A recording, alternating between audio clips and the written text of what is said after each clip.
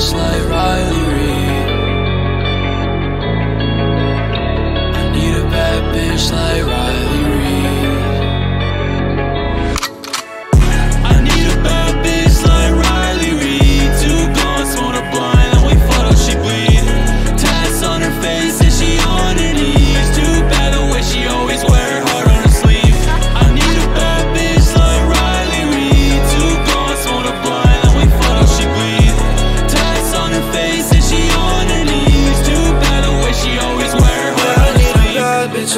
sorry I fucking asked her Cause savage, a little grimy like Lil Riley. A freak hoe likes to deep throw Spends a whole lot of time on her motherfucking knees, whoa Ayy, we can make dirty moves.